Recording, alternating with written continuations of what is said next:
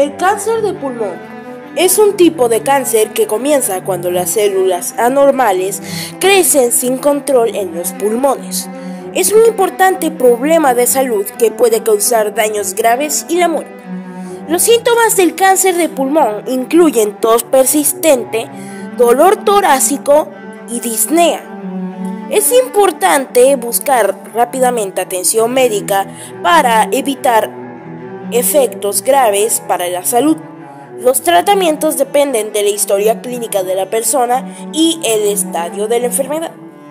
Los tipos más comunes de cáncer de pulmón son el carcinoma no microcrítico, en abreviación el NSCLS, y el carcinoma microcrítico, en abreviación SCLC.